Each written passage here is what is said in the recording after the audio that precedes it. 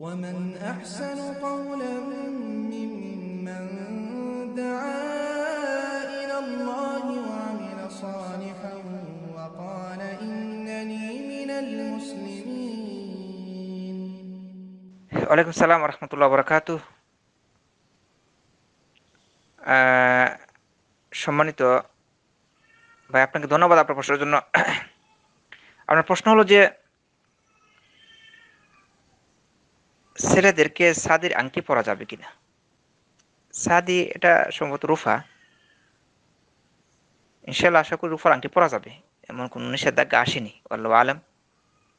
কারণ হাদিসের মধ্যে আসিয়াছে রাসুলামকে প্রশ্ন করা হয়েছিল যে, ফিল হারি ওয়া দাহাব যে হারির কাপড় এবং স্বর্ণ পরা যাবে কিনা? তখন রাসুলাম বলেন যে হা দানি হারামুন আলা দুকরি উম্মাতি। যে এই দুইটি বস্তু আমার উম্মাতের জন্য হারাম। ও হেল্লুন লি ইনাথিহা এবং এটা হালাল হলো মেয়েদের জন্য।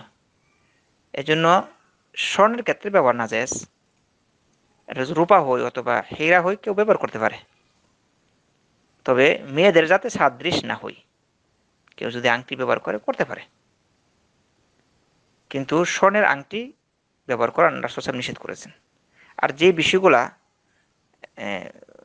রাসুল সাহেব নিষেধ করেনি, সেই জিনিসগুলো সে পড়তে পারবে কোনো মানুষ। যদি রাসুল ইসলাম কোনো জিনিস নিষেধ করিনি, অথবা সেটা যদি মেয়েদের সাদৃশ না হই তাহলে এটা ব্যবহার করা যায় যেমন স্বর্ণ ব্যবহার করতে নিষেধ করেছেন, আর রূপা ব্যবহার করতে নিষেধ করিনি এই জন্য রূপা ব্যবহার করা যায় স্বর্ণ ব্যবহার করা যায় না। তবে কেউ যদি রূপার মালা পড়তে চায়, এটা মেয়েদের সাদৃশ বা রূপার কোনো সেন পড়তে চায় অথবা পায়ে নুপুর পড়তে চাই, অথবা কানের দুল হিসাবে ব্যবহার করতে চাই।